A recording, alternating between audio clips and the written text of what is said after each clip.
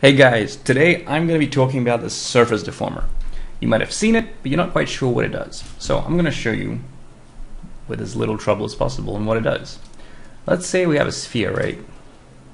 And we bring it up here and we place it on this guy's tummy. Now, if we parent the sphere, for example, to this controller, it'll move with it, as you'd expect. But what if the sphere is stretched out, like this? And let's say we parent it to this controller, so we put it in there.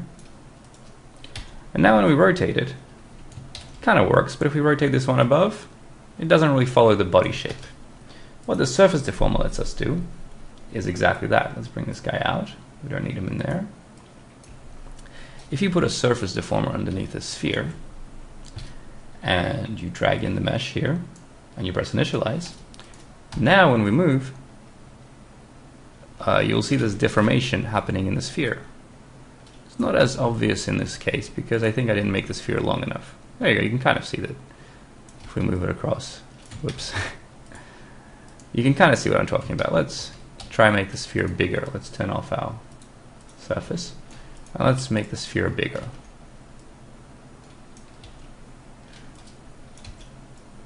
Let's make it like a tie, right? And now we press initialize again and then turn it on. And now when we move this object, there you go, you see we have some deformation going on. And this is not the only way you can do it. You know, this is not the only thing that's useful for just not one sphere. You can, for example, let's delete the surface for now. Let's make the sphere small again.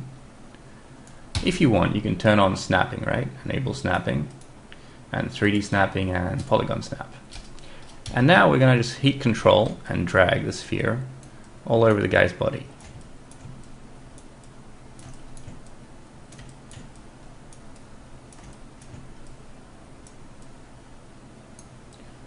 I think you get the point. Now all these spheres, let's put them into a group and let's make a surface deformer.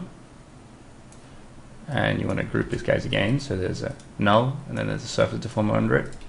And let's go five man mesh and press initialize. And now when we move stuff, well, we're going to move this below the mesh, otherwise the priorities get messed up. Now when we move stuff, see the spheres move with them, except that one in the middle because it's in the wrong place. It's not inside the group, so let's drag it into the group as well. And let's hit initialize again. And there you have it. You have all of these guys. Whoa! That's what happens with snapping on. so you have all the spheres moving to together. So this is an easy way to add like buttons and stitches and all kinds of stuff that you might want to add to the surface of a mesh or anything.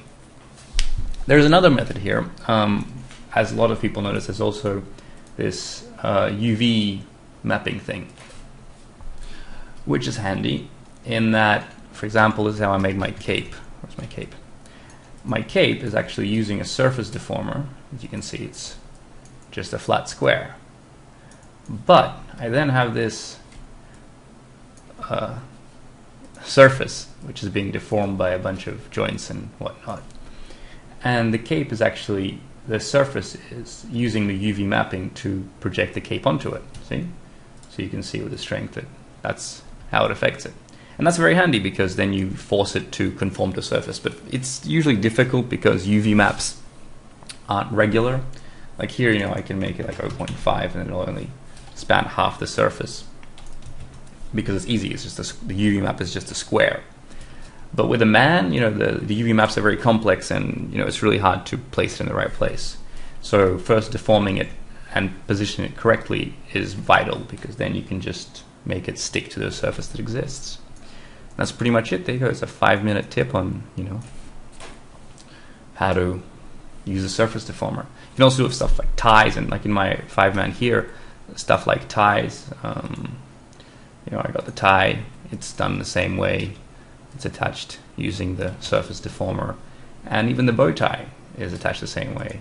Um, it's also um, attached in a very similar fashion. And yes, that's pretty much it. You can attach all kinds of, even if you have a piece of clothing, you can stick it on and you can just do a surface deformer and it'll mostly follow it. Sometimes you want to weight it. If it's too complex, it might lag and then you might do, want to do proper skin weighting to the mesh. But for a lot of things like this, this is a really easy way to do it. So that's pretty much it. Enjoy. This is Alexei from Ace5 Studios. If you like my tutorials um, and you feel like supporting me, by no means don't feel like you have to, but you can buy my 5-man.